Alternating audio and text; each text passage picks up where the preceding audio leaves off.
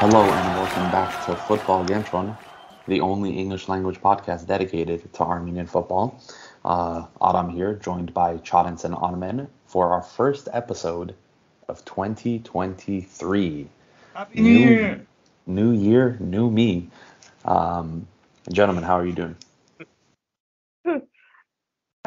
New Year. I don't know if it's happy, but New Year, everyone. Chadens, how are things with you? All good. Let's see. Uh, you know, a lot of exciting games coming up. A lot of uh, you know action. New European Bro. games. Everything. You know, everything's new in a way. Yeah. Boring yes. New Year, I would say. Yeah, a, a lot of things haven't started up for us yet. Um, they're newly starting to actually, as of recording, uh, a bunch of players are restarting their league campaign. So hopefully the interest gets there. But we will start first at home in Armenia, uh, where the Armenian Premier League is not back in action yet. It actually won't be back in action for another month or so. Um, Yeah, less than a month in a way. Yeah, less than a month. um, Not much. But until then, we sh- uh, uh, thought maybe take a quick look at what the standings are looking like right now. Uh, we have FC Urartu at first place with 47 points, followed closely behind uh, by Ararat Armenia, who are on 43 points. Um, Pyunik is even further down um, in third place th- with 34 points. So that's the top three currently right now. Um, and it's looking like a two horse race between Urartu and Ararat Armenia. Uh, elsewhere at the bottom of the table, we have FC Noah on the bottom with 12 points, with uh, Bekma right above them on 13. So that seems to be the relegation battle, while the rest are Yeah, in the yeah, it's already pack clear. um, before the start of the season, um, or the restart of the season rather, uh, the January transfer window, which is currently open right now but will be shut the day this episode comes out. Um, and some teams are making some moves, uh, specifically at the top of the table. Uh, let's start with that one. Chadens. Urartu making a couple of big move signings so Oh, far yeah. this uh this January. Who do you who who did they bring in? So the the there's two huge names. Uh, hu- one is huge in football. The other one is huge uh, in Armenian football. One is Yaya Sanogo, who has previously played for Ajax, uh, who has previously played for Crystal Palace, who has won FA Cup and Community Shield with Arsenal, who are leading the Premier League. And the other player, the Armenian player, who's a huge name, many of them are also uh, featured in Ajax, is Aras Özbiliz, uh, who joined from Pyunik. Yaya Sanogo uh, was out without football for 18 to 20 months, so he joined on a free transfer basis, free agent basis. I think he was Um, waiting for the right team to come along. That's why he waited over 18 months. No better team Yeah. than the Lions then. I read he had um I read he had interest from French second division clubs, um and Saudi Arabian clubs and uh, one other But the place. I, APL, bro. I can't remember, but but but somehow I mean, con- How did he considering yeah, considering the current climate of football, you think you would go to Saudi Arabia because that's where everyone's going to make, you know, make good money. Um, but he ended up in Urartu. But ha, ha, so these two signings, um, let's just stop here for a sec because Urartu are top of the table. How much of an impact, Armen, do you think it's going to make uh, for the rest of their campaign? Do you think this is enough for them, given that they have a mix of, you know, domestic players, uh, good young Armenian players, um, and now you're bringing in the experience of Özbiliz. You're bringing in Yaya Sanogo, who we everyone knows is a talent that just never lived up to expectations. Do you anticipate this being enough for Urartu to seal the deal?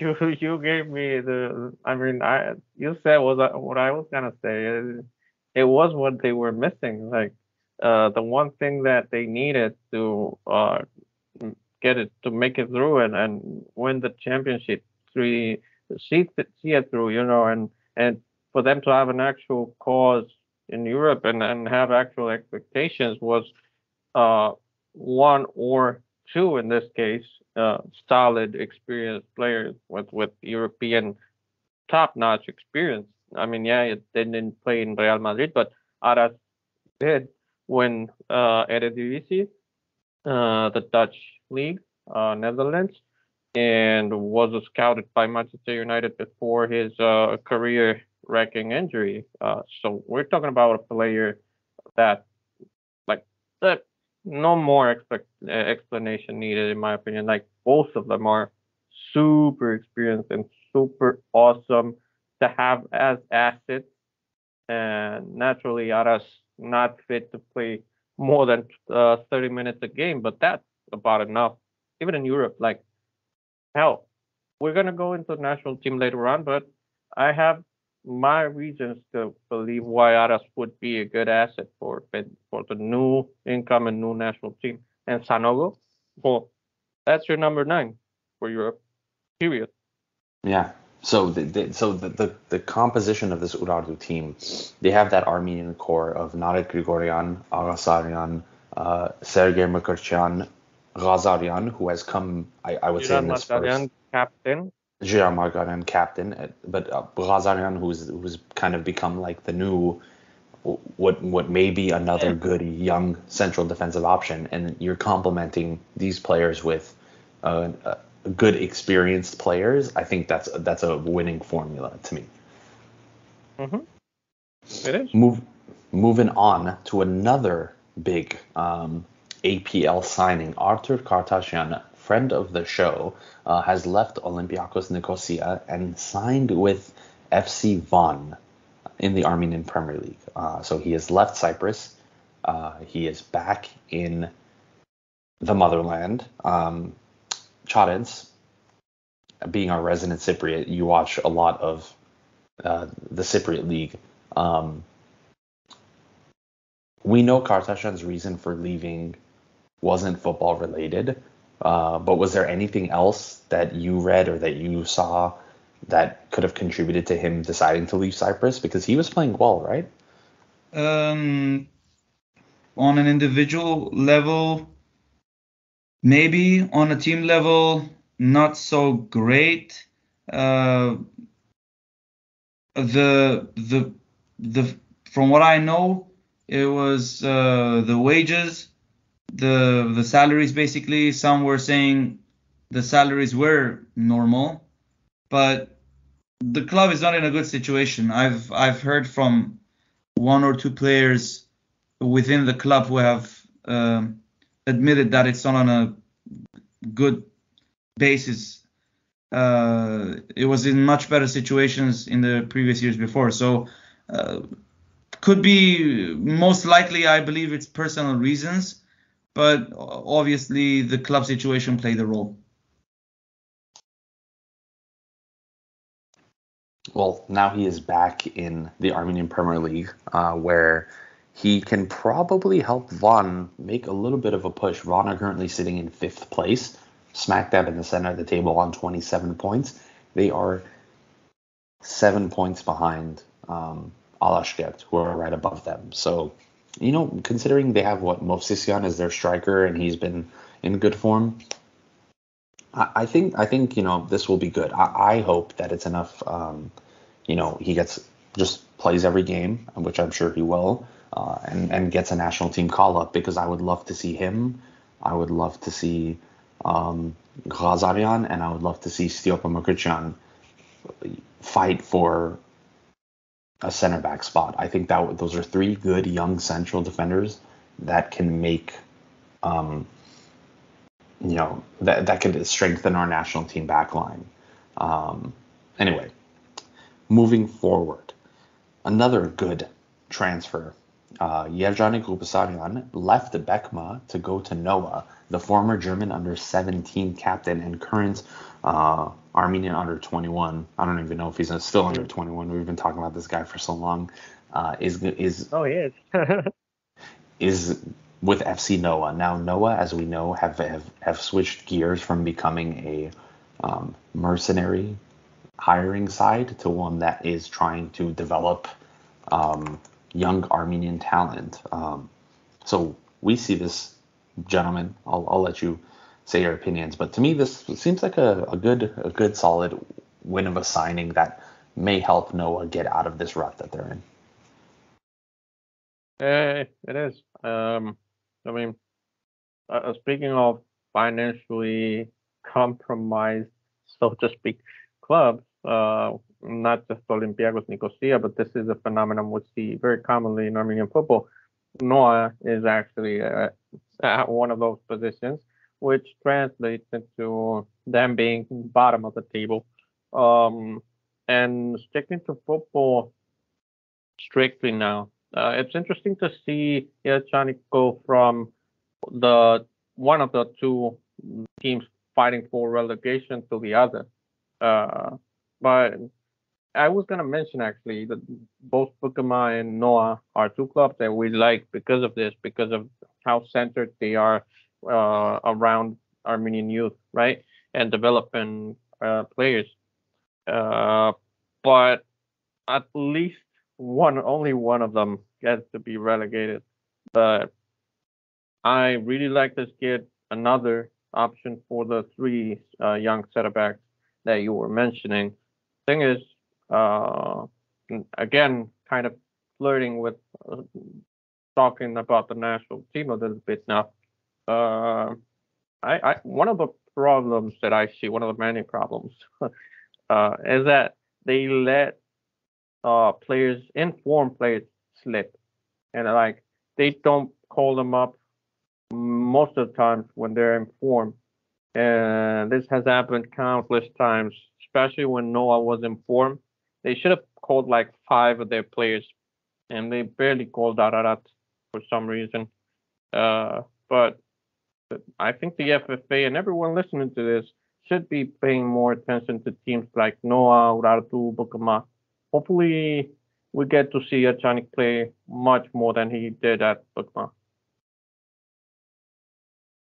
Yeah, and, and being in a defensive midfield role, which is somewhere that we're lacking, uh, you know, in the national team. Oh yeah, he picture. can play as a midfield. That's right. That, that, that Yeah. that's true.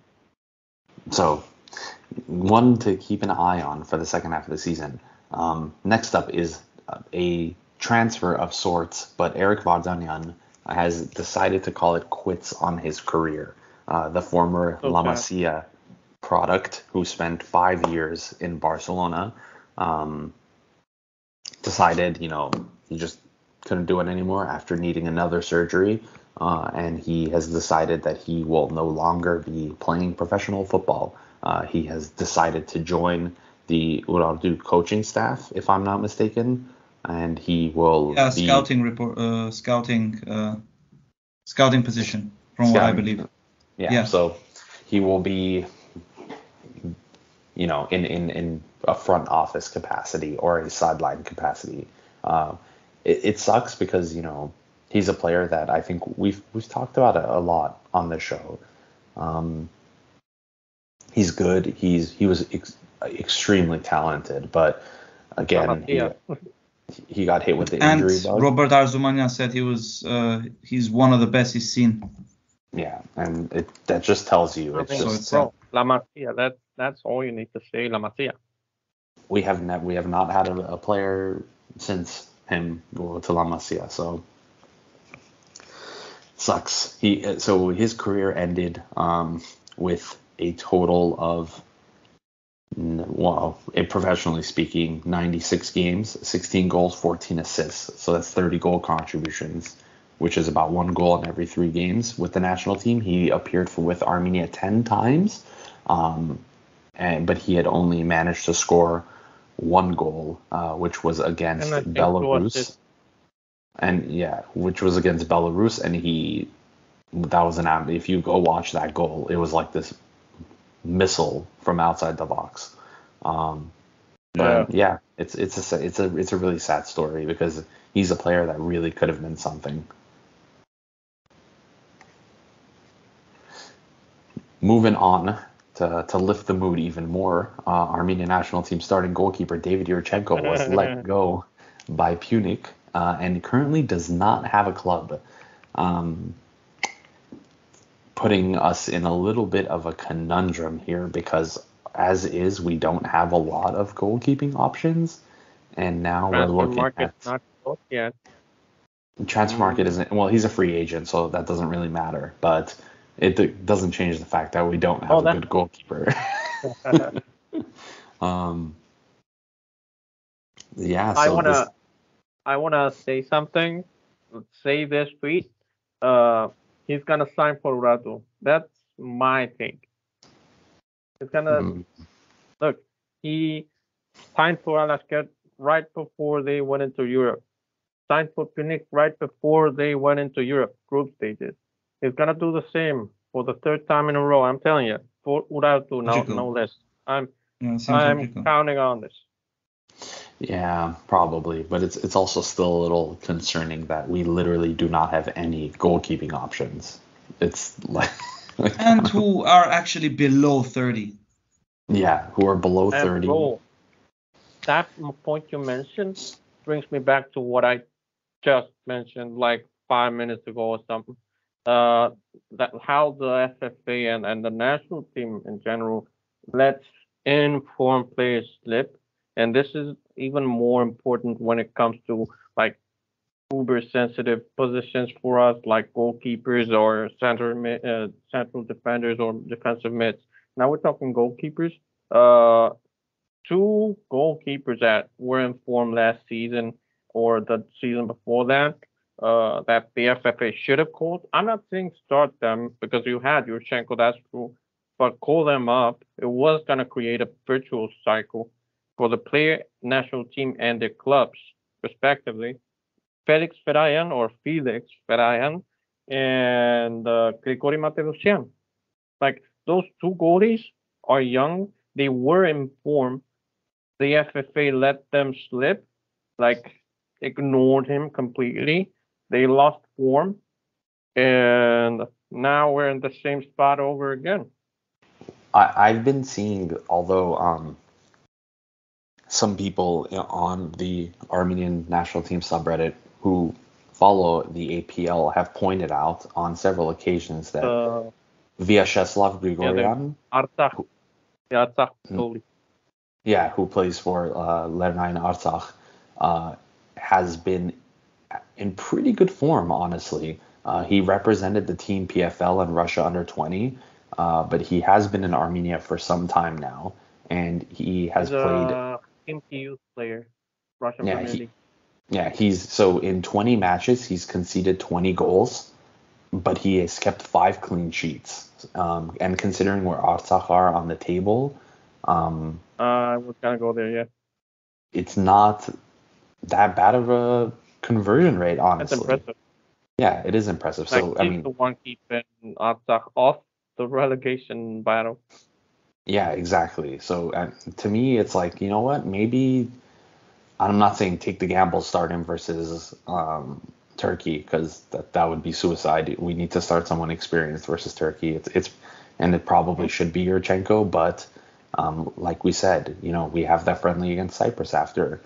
These are the, this is what this needs to be for. You know, bringing I in these types of players. Yeah, I don't want to be a buzzkill. I do see it. I do see the, the point, and I, I agree.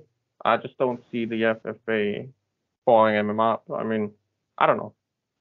Uh, I'm not optimistic on this front, at least. Yeah, it's it's it's hard to be. I I Yeah, I, but- I agree. Well, we're, we're yeah, a lot of national team uh, topics coming up. So, Well, speaking of the national team, uh, let us move on to our second topic of the episode, which is our players abroad. And we will start first with our golden boy, Eduard Spertsyan, whose name has been showing up a lot in this transfer window. and this is window. where you put like godly music, like oh, yeah, so he has been um, linked with several clubs, including uh, Fiorentina, PSV Eindhoven, um, uh, what was the other Dutch club? Feyenoord. Feyenoord. Uh, did I say Fiorentina already? Sevilla was another Yeah. one that we saw put out there. Sevilla, Villarreal in Spain, Sevilla, Villarreal, and actually Real Madrid. They didn't deny it, which actually tells you something. Of course, he's not going to be starting for them, but they he's more than good enough for uh, like to sign for Real Madrid, uh, and start for every other club you mentioned. I I do see why he would go to Sevilla but uh, he's more than good enough to start for them, even though they're not doing all that well at the moment. Um, apparently, apparently, apparently, the latest uh, update on the battle for him, even though he like there's still six months to go until he just he makes his decision. So dozens of clubs expected to join and leave the battle for him.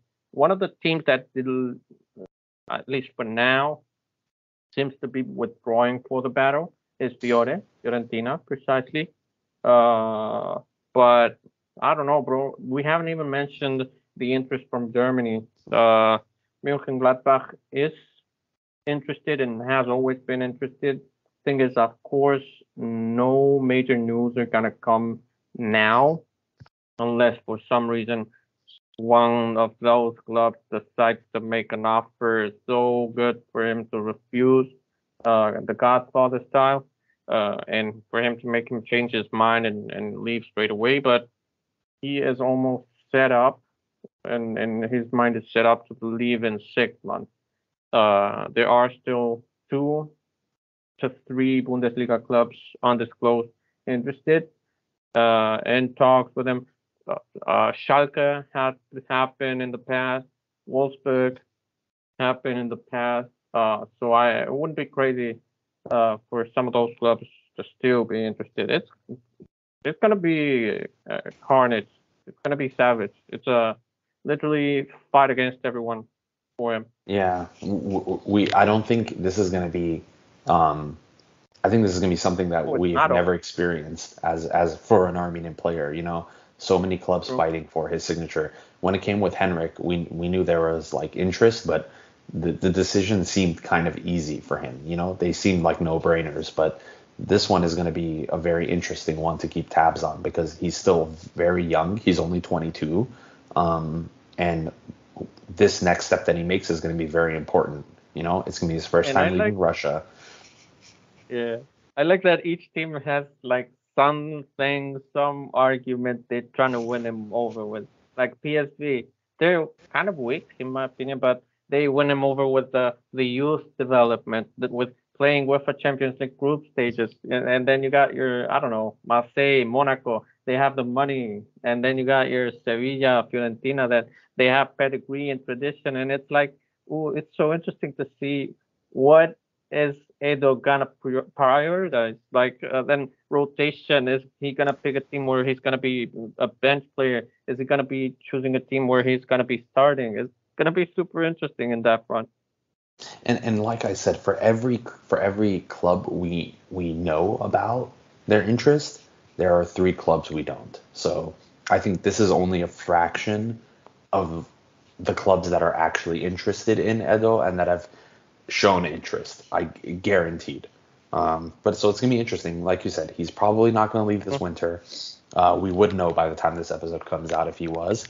Um, but looking like it's going to be a very interesting summer uh, for Mr. Spertsyan. Uh, next up, Henrik Mkhitaryan, uh, Charens, has been doing pretty good so far for Inter. Not on the statistical front, uh, he hasn't been scoring or assisting because he's playing this much weirder, deeper role. Uh, but the trophies keep coming, right, Charens? For sure, Mkhitaryan doesn't stop with the trophies. Uh, Super Cup win, he he got it last week as of this recording. Was it last week or a week and a half ago? Um, uh, they beat Milan, so it was a Milan derby in a way. Uh, 3 0, uh, huge score. Another trophy to add to the list. That I mean, that says that says it all. You know Yeah. Mkhitaryan, most people know him. Even uh, people outside of the Armenian circle know him. So this is another achievement for him. Yeah, people people are calling him a Super Cup merchant because he's won the Armenian Super Cup three times. He's won the Ukrainian Super Cup once. He's won the Italian Super Cup now, and he also won the German Super Cup twice while he was with Borussia Dortmund.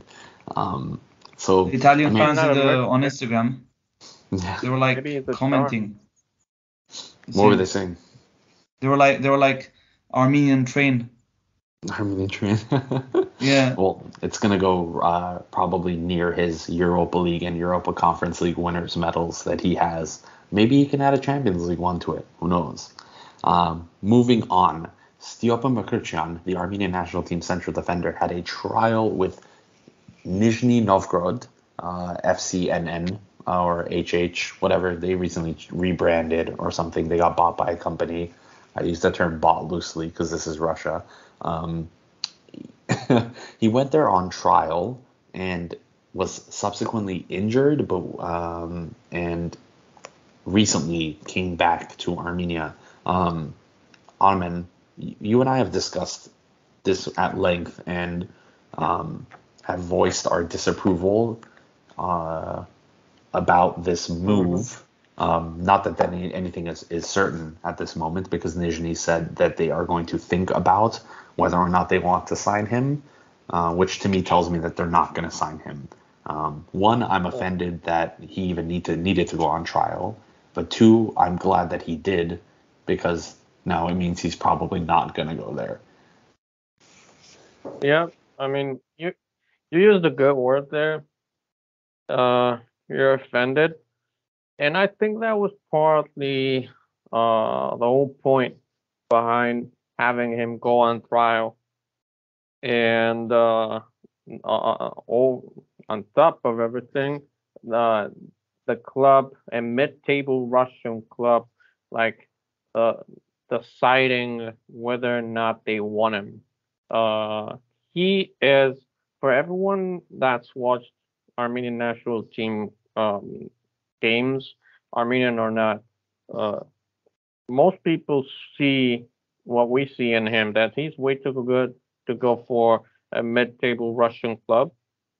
Like he should go to uh, first and foremost, he doesn't like he has voiced uh like explicitly that he didn't want to go to Russia and instead he wants to pursue a career in Central or Western Europe because he wants to make top five uh, leagues uh, sooner rather than later. And we believe in him. We we know he has what it takes to do that.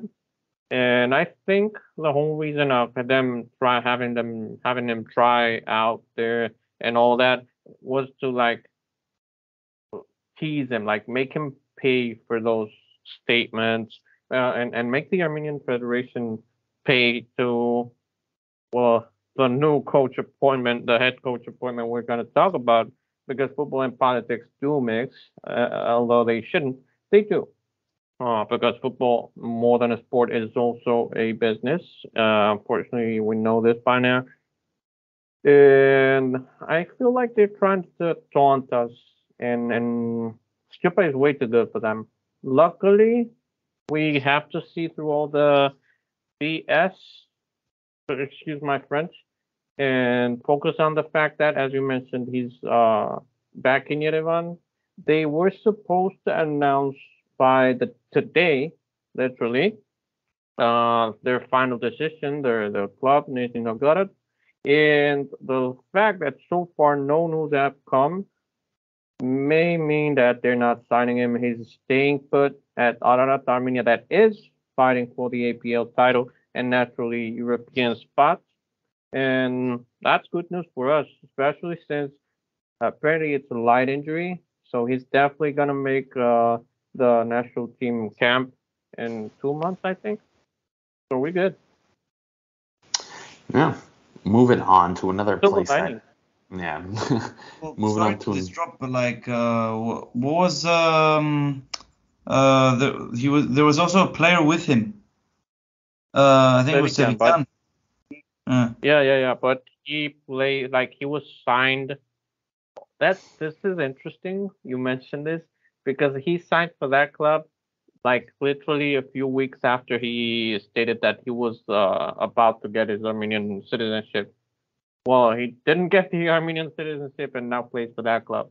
Um, but we, we honestly we have a lot of wingers like him. He's good. He's clearly good. Like uh, played La Liga and everything. But luckily, it's not as necessary as Stjopa.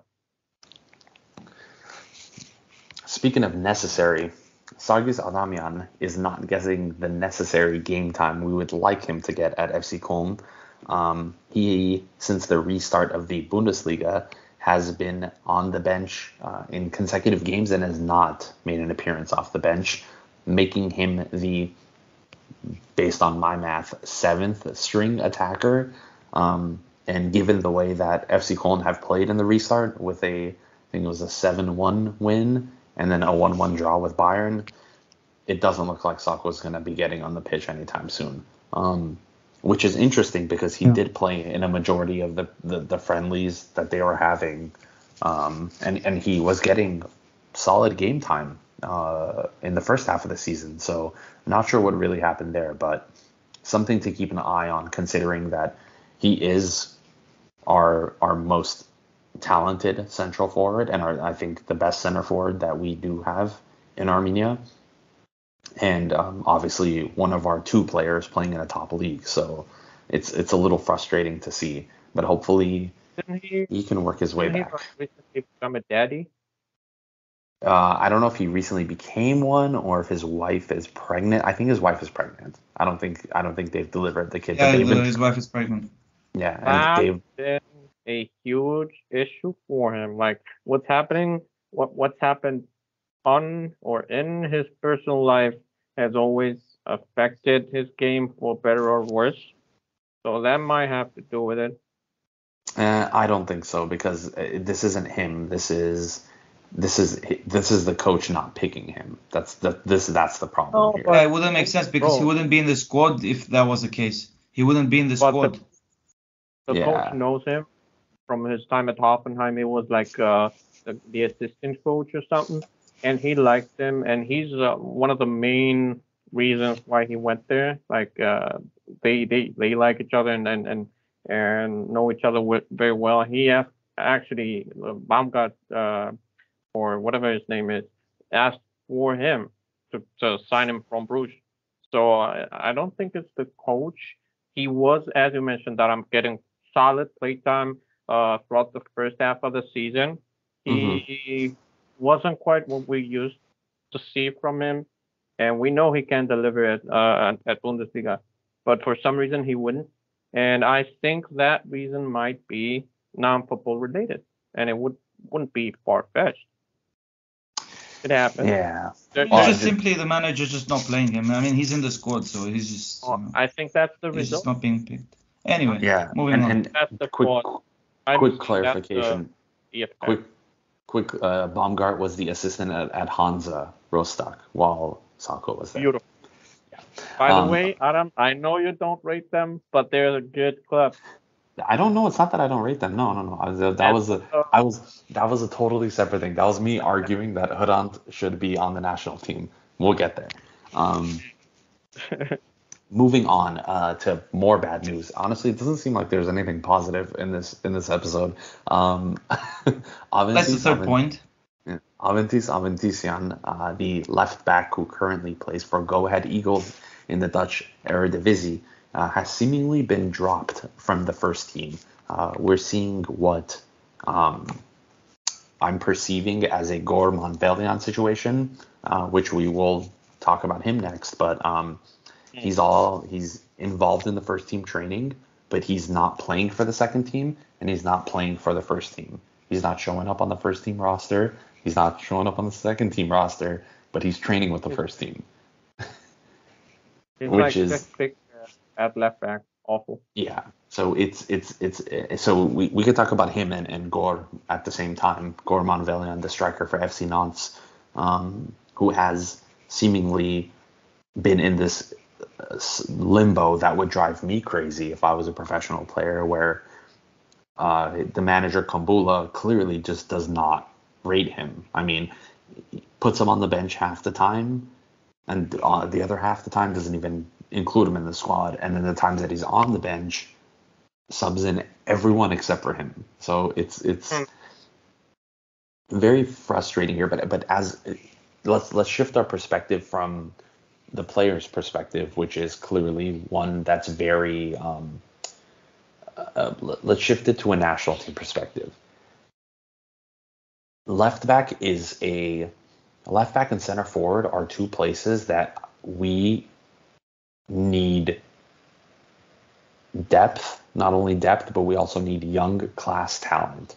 And we have these options in Avo and in Gor. Um, Gor has already made his professional appearance. Um,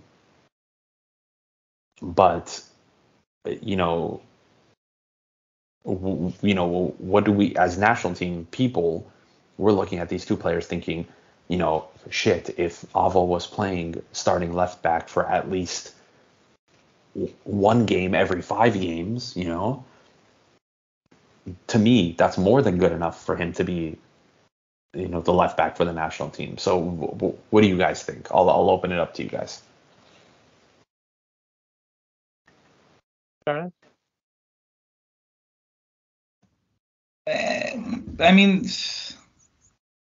just to be to be on a national team level, you gotta be playing a lot. Um, he's he's disappeared, so it doesn't make sense to call him up. Uh, but knowing Armenian football, some of the decisions just randomly happen. So it doesn't matter what I say right now. Maybe he just gets called up, or maybe he doesn't even he doesn't even get noticed. So yeah, I mean, he did get called up in a sense that he, you know, he was brought into the squad for those two friendlies that we had against Albania and Kosovo, um, but he didn't play because there was that that issue with the FIFA paperwork. Um, so clearly, uh, it looks like the the FFA is like they want they want to get him tied to Hayastan. Um, not that I think Greece is trying to tie him down, but um, not that Greece would need him. Like, not that they would need a fifth tier, uh, first string left back. Yeah. So he he hasn't made the Go Ahead Eagles squad since October, end of October. So it's coming up on a few months. Granted, there there was that World Cup break, but Amen. I mean, what what are you thinking here? Clearly, the clearly the FFA wants him in, in the squad, but if he's not playing, yeah, I mean, you said it. I, I, I wouldn't thought I wouldn't play him against Turkey at all. Uh, even if he were to get the paperwork done by then, uh, I wouldn't. It wouldn't make sense. Like the Turkey game, we're gonna need everything we got, and unfortunately, there's not much that we do have. Uh, with I mean, who who are you gonna play at left back? Who, who would you back, play? Undoubtedly, uh, Giran Margarian. Giran Margarian. Undoubtedly, uh, starting and and his uh, replace as is a replacement for now. Like I am still of the opinion that the FFA should work their ass off in trying to get uh, Naya because he wants to play for us, and there's the Russian issue going on there with all the paperwork and stuff. So that might be a bit of a pickle to get him. Uh, in, in, in, my opinion, if in my opinion, if Tiknizyan, if that somehow happens, he should be starting. Undoubtedly. Yeah, undoubtedly. undoubtedly. But as we all know, there is there are other issues at hand uh, that are preventing him and others joining. Uh, so for now, it's definitely Giro Margarian start, and I would. It, here's my gamble: uh, if healthy and fit, um, Hagop Hagopian should be the replacement because he's not long enough to play middle of the park, even though he's very talented and that's his main position. Uh, he is physically better suited for the wing, for the left back in this case. Yeah. Well, tough times ahead, and a lot of questions will hopefully be answered very soon. Um, elsewhere, your boy Armen Hovhannisyan has made another move, this time transferring to Malta. Um, I, I, I mean, Armen, I don't know if you want to talk about your namesake, what, what opinions you have about this move, but the guy can't seem to find a stable club at 21. I mean, how's he going to do this for the rest of his career? Could be, bro. I mean, this comes to show that the guy was like, he was playing in Moldova, that is uh, a feeder club for uh, Romania, mm-hmm. and he was tearing it up in Moldova. He played for, uh, I think it was a whole year, and that was the longest uh, spell. No, wait, uh, it was in Slovakia before that. So yeah, bro, he had great performances. Uh, first in Slovakia and then in Moldova, and for some reason he get he keeps downgrading. Like he, and I think that's got to do with uh, his agents and stuff. Because a guy like him, a guy as good as him, that uh, in the under 19 tournament that was hosted in, in Yerevan, where Portugal won, I think. Uh, Charents, I think you were there. Uh, he played that cup, that competition for Armenia under 19, and he was mm-hmm. starting uh, non, number nine, all together with uh, Herman Kurbashian, and they were a menace. They were a threat. Like literally, the rest of the team uh, wasn't able to hand them the ball, and they would have to defend. But they had every top tier defender, Spain, England, uh, Portugal, Italy, uh, defenders, like they fought one on one. Uh, yeah, so good, bro. After leaving Zimbru, he actually went to the Greek second tier uh, yeah. at, at Episkopi, and he's been loaned from them uh, to to Pieta. Uh, and Malta. Episkopi, by the way, is a new team with a lot of money, uh, apparently, reportedly. Mm-hmm. Uh, he didn't win. He didn't play much. He scored a screamer against Olympiacos B. Uh, but those moves clearly seem to be about money, and I don't think he would be the one choosing in this case. So again. Yeah, I don't know.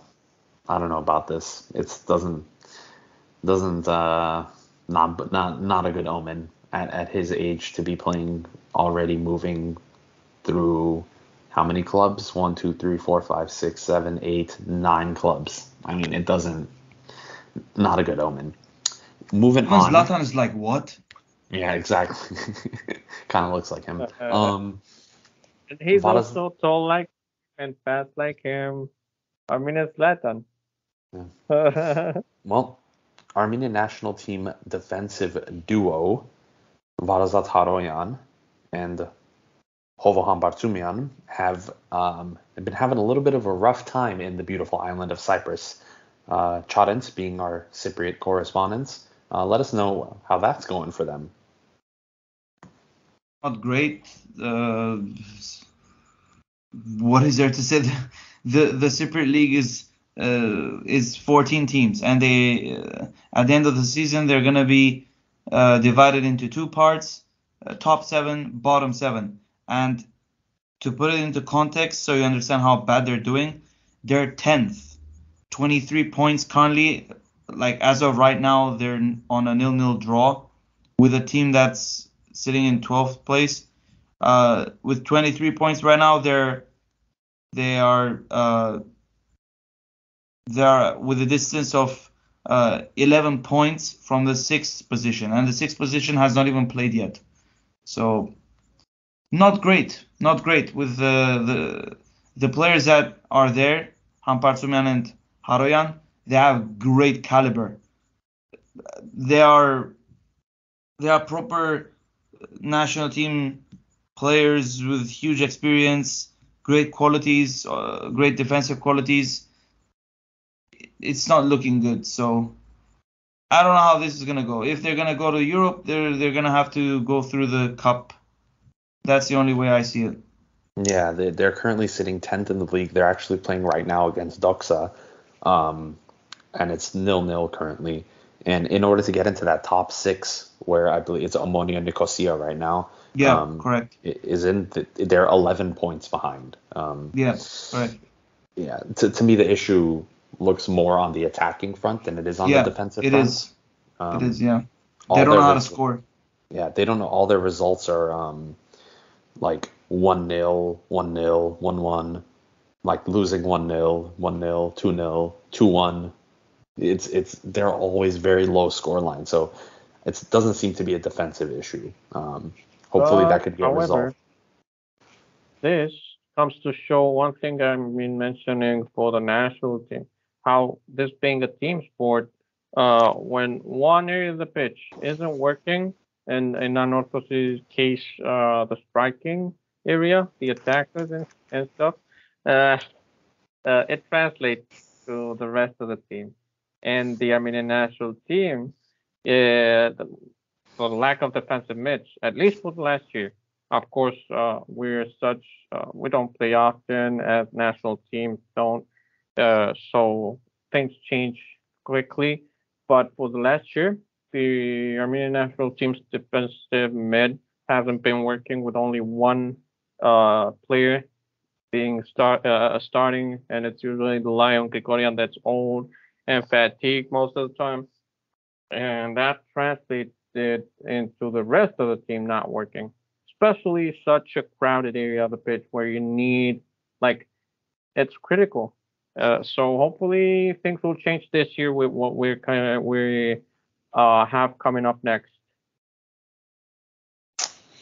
Well, that's going to round it up for our players abroad segment, and we will be going to our third and final portion of this episode, uh, which is the biggest piece of news I think that's happened uh, since our last episode last year, uh, which is Petrakov, the former Ukrainian national team manager, has been appointed manager of the Armenian national team. Uh, Petrakov comes with a somewhat of a winning pedigree, uh, as he was the under 20 World Cup champion in 2019 uh, with the Ukraine. Uh, he has gone through the entire Ukraine youth setup from under 12s all the way to the senior national team, uh, where he had a record of six wins, seven draws, and two losses, including uh, two wins versus us in the UEFA Nations League uh, for a total of an 8 0 aggregate. Um, Petrakov is known for playing the 4-3-3 formation and playing very attacking football, and he's also known for making cha- a lot of changes in between matches and in squads, and he's known for relying on youth talent, uh, which we know there is no shortage of in Armenia. They're just not being used. Um, his first match in charge will be on March 25th at home versus Turkey in Euro qualifiers, followed by a friendly versus Cyprus a few days later in the. Um, well, gentlemen, I'm going to open the floor to both of you. We've been waiting for a long time to see who the Football Federation of Armenia will bring in as manager. We now have that appointment in Petrakov. Um, I'll start with you, Charents. I want to know your opinions based off the information you have now, based off what you know now, um, and what's your what was your initial reaction to Petrakov being signed? At first, I didn't, I didn't really understand who he was, what kind of experience he has. Um, so, in the beginning, I looked at, I looked at the. Uh, you know, as we, most people do, they go on transfer market and they check uh, managerial history. I saw a lot of youth uh, youth managerial positions within the same team, which is Ukraine, for many years. Uh, that's like I think se- seven to eight years. Then I saw that he is a U20 world champion uh, in 2019. So I didn't really believe that. Uh, I had to really go and check, and it was true. So uh, that that's the first point of showing that he can work with youth.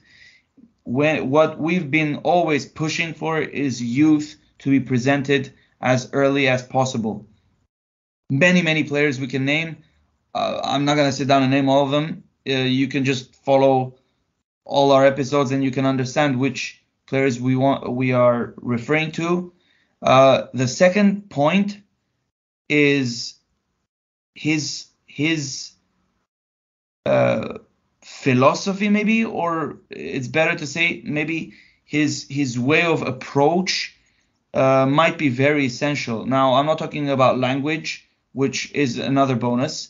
Uh, since he speaks Russian, uh, Ukrainian, Russian, I don't want to get deep into that uh, to create conflict. Um, he knows how to talk uh, with the language. But for me, what it was important is that when I looked at, when I tried to research about him, there were a few news reports on a few things he said in a press conference which somewhat should not have been said uh, in the way that he meant it, but the the meaning behind it of those things that he said, uh, which was regarding the conflict uh, with Ukraine and Russia, uh, he he showed that he can he can motivate and encourage players in the tough times, and especially if he's going to work with youth players, that needs to be transferred very well. Young players need to digest what they what they see and what they are doing on the pitch. This is how they're going to grow, and I really hope he's going to bring them forth as early as possible. Even in the first game, if they start, if, if he starts working on that, I really wouldn't have a problem. If we're gonna start with this approach, we might as well try it and see how it goes. Amen.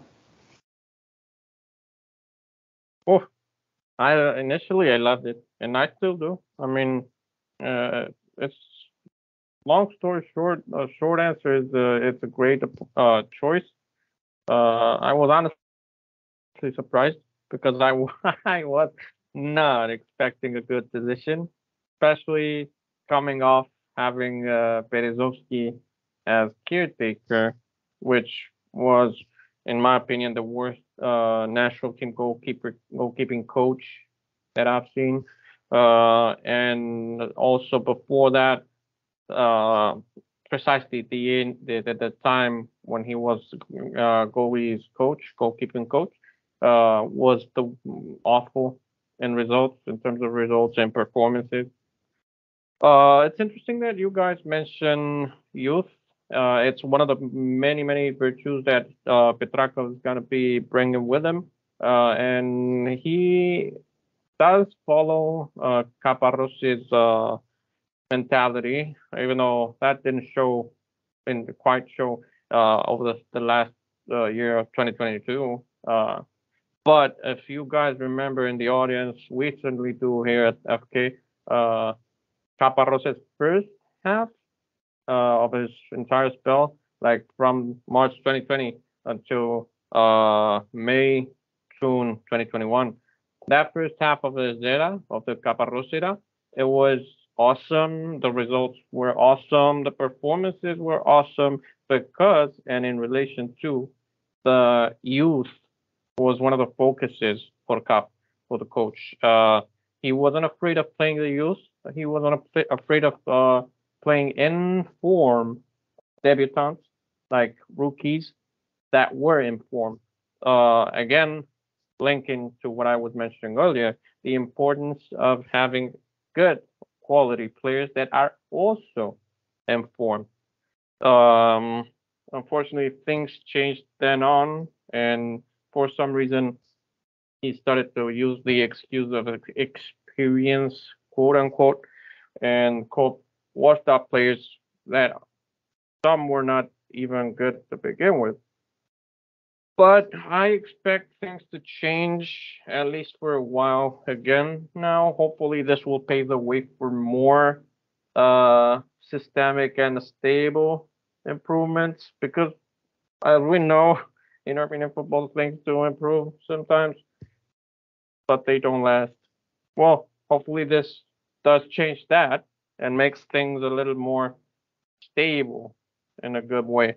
Uh, the Turkey game's gonna be super interesting because of everything, literally. uh, and it's also its first game. Squad list is gonna basically define everything. Like all of our opinions will be uh, based on that first squad list, whenever that is. Yeah, it's it's hard to it's hard to give our thoughts now because, like you said, we could look at the squad in in March and we could say, oh, it's gonna be the same shit, you know. Um, Yeah. but you know, I'm I'm really interested to see how this is gonna Two year affect. contract though. Yeah, ooh, ooh. yeah, it's a two year. Well, he doesn't stay anywhere for really more than a year, but uh, clearly it seems like Euro the Euros is the goal, and if if the I FFA is know. serious about this, I don't know well, if mean, that is that's the it's case, always the- it's youth always the goal. It's no, it's always Yeah, the goal. yeah, yeah. It's national football. we know. national should football. be. It should be. It's not like World Cup is. Uh, World Cup obvi- of of course would be big, but you know Euros is. Always, we kind of see yeah, Euros more always the- practical. Look, even the next Petrakov- game is what yeah always the next game is the, the most important one. Uh we always want to qualify for the the upcoming uh tournament. Mhm. that's what you tell uh the outside world. But if i'm reading between the lines as i usually do this move uh, petrakov like appointing petrakov and not some other coach uh a youth based play, uh, coach uh, appointing him for two-year contract, not just one, as usually the national team does. In this case, it's going to be a two-year contract. Uh, this gives me the idea that it's clearly going to be a rather youth developing uh, focus. Of I course, I, if we I do qualify, disagree. of course, if we do qualify for something, it's gonna be huge. I'm just saying, uh, I think Melikbekyan is doing a good job in focusing on the long term and setting more solid ground. See, but the thing is, a na- national team isn't club. You you can't think of it that way. You have to think it's a results based thing. There's no league table. There's nothing. There's none of that. You're either playing in major tournaments or you're not playing in major tournaments. And Armenia is not playing in major tournaments. And the goal is always to play in major tournaments. Or else, why are you playing as a national team? And Petrakov understands Uh, that. that, yeah, but for that you need a project. For that you need I agree. good players, players that are Well, we do we do solid have a we do have a project and it has been implemented and it's it has been implemented it's what been uh how many years has it been since um why am i blanking out but since the spanish contingency originally came in Yeah, um, And pre pre improvements. Yeah, I know what you mean. It's, Uh, it's gonna take another. It's gonna take another five. Yeah, Melendez. It's gonna take another five to eight years for us to start to see the the the, the, the things from that. But there there is a project. But the current national team conundrum is is you know we had a string of very good results. We were still unable to qualify for a major tournament, and at some point, as a as a football federation, you got to ask yourself, okay, why are we playing if we're not? Why are we playing if we're just gonna be sec- last place or second to last place in every table? Sure, Nations League was great. It was it was very nice to to see us win something, quote unquote. You know, we we got that promotion to League B. Uh, it was it was amazing. Um, but the, but the next logical step is okay. If we can do that, we need to be able to do this. And at the end of the day, that's why people play national team. People don't play national team uh, to play in the Nations League. People play national team because they want to represent Armenia in the Euros and in the World Cup. Of and- course, but what happens on the pitch comes from what happens off the pitch. Off the pitch. And Well, and, for that, and we mentioned meritocracy. For that, we talked about like I think the episode was called "What Went Wrong," like literally an in-depth analysis of what went wrong, and we know what happened. Like literally, we've listed one by one everything that went wrong. As I said, like we need stability. We need. We don't. We, you mentioned something very interesting that we were doing really good, and some uh, suddenly it, uh, we failed to qualify. I see it as like the the federation and the national team as a whole uh, backtracking on its own progress. That's what I was going into. Like we need that progress. You mentioned, I mentioned, we need that progress that we all know of and and and want for the national Mhm. team to be stable. And I don't think that's achievable uh, in a short-term basis because we see and we saw and we see again over and over and over again uh, how easily things can vanish if like you don't like if you don't keep uh, your position all your progress and I think that's what this uh, Melikbekyan is aiming for by appointing uh, like off the pitch meritocracy Well, uh, let's hope so because Petrakov even said in um, his uh, one of his pre-match press conferences, I believe it was in the uh, World Cup qualifiers playoffs first game that Ukraine played. He said that uh, international football is a results-based business, and he knows that it does not matter what's going on. You need to win. So let's hope he Yeah, can carry that mentality. Let's hope we can carry I, that I mentality. hope, yeah. I like him. I, I like like everything. That mentality, that like his youth development. I think it's gonna be very positive for us. Even if we don't qualify, like don't go crazy if we don't qualify for the whatever the next thing is. I'm saying focus on the progress and the long term. Uh, I would much rather, bro, I would much rather have an entirely merit based, like good squad and good team playing and uh I don't know, fa- falling just short and and getting draws and draw here and draw there uh, and have a solid motivated core team for the upcoming season uh than having a lucky uh, stroke and winning a game you're not supposed to win by playing bad, filled with awful players like many we know of, and have them represent us at the big stages and then humiliate, get humiliated, like it has happened.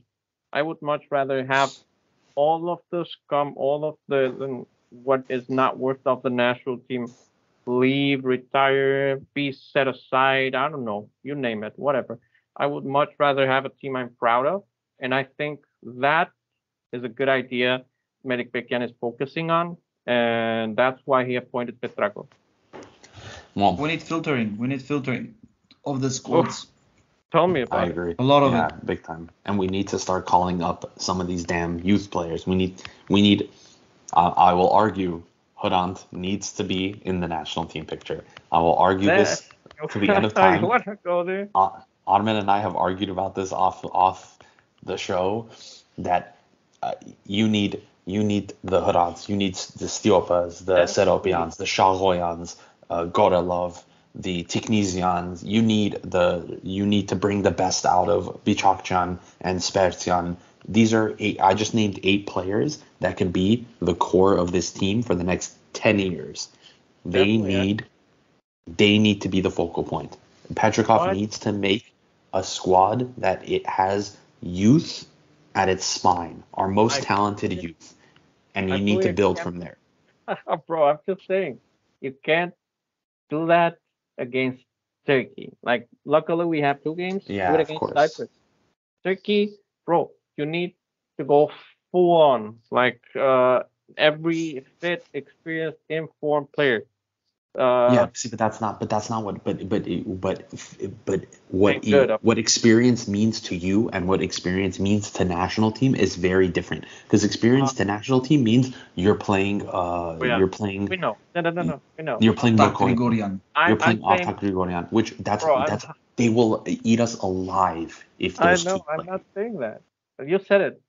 I I mean experience in our perspective, like proven quality players. Oh, I, f- I Let's forgot to mention something uh, on transfer market. Uh, I saw that he commonly plays with 4-3-3. I don't know if he's gonna play like that, attacking 4-3-3. I don't know if he's gonna play like that.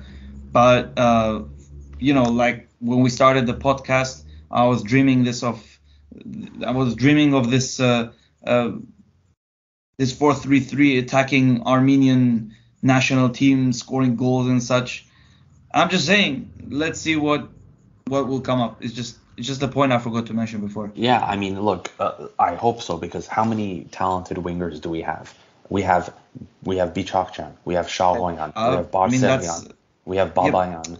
Yeah, but that's a managerial kind of thing. Like a manager can break down. We cannot do that really because there's a tactical perspective to that four through three. I mean, we can say all the players we want and we can, you know, put them on a field, but it doesn't mean that they're gonna complete It's the true. plan of that I don't know. formation or of that I game. mean, we can we can speculate, uh, and I think it's important to keep our heads because we can speculate, and in many cases we even know which players would be more helpful than the the federation does, or at, even if they do, for some reason, sometimes they don't do the best thing for the national team. We we don't know what happens there. We we're not a, a part of it, so we can't talk about that. But we can speculate as to which player can deliver where, what player can do what. Uh, but we have like two full months for that. Light bulb, game against Turkey. Yeah, light bulb. Tell me. So whoever's listening, um, you should do this.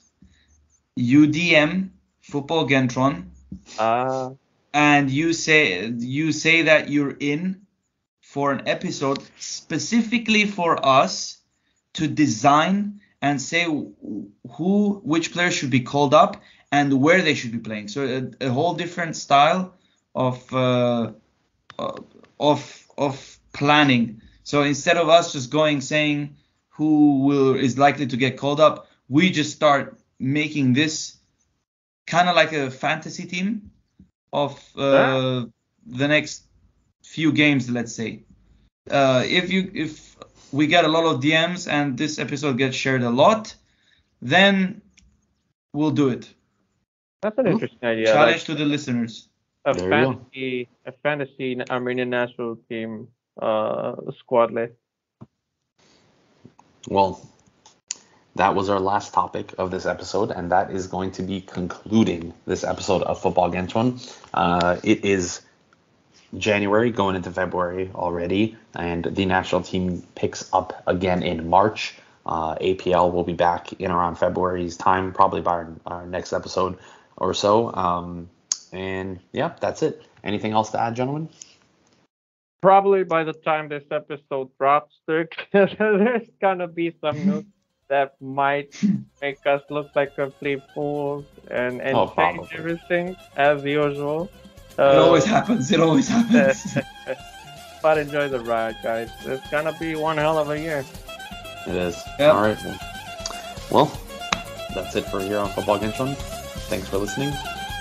Peace. Petragov, Tebi Aftanak, please. Okay? Thanks. Mwah.